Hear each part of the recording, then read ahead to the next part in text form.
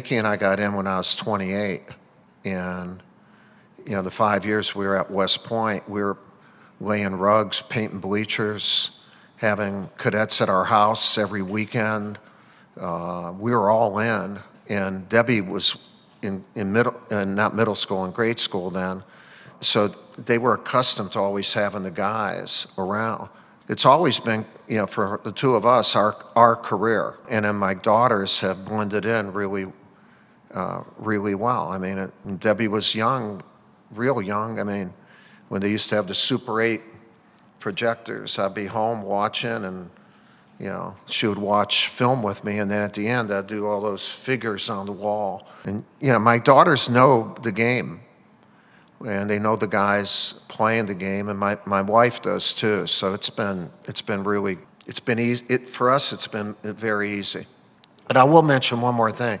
When Tom Butters, God bless him, hired me, he, he mentioned to Mickie, he said, I just want you to know I'm not hiring your husband, I'm hiring your family.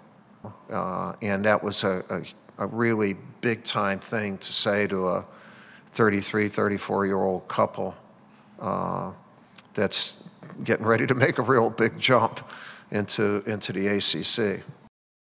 Yeah, I told my staff and everyone around me not to use the word last. Uh, you know, this is my 47th year, my 42nd year uh, at Duke.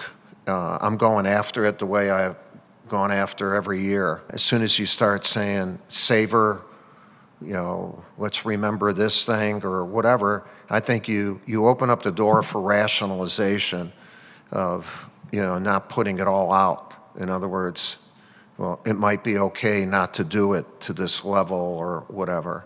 So we're, we're not having any of it. I'll savor uh, in May or whatever, and after that. But right now, I, I want to live, not savor.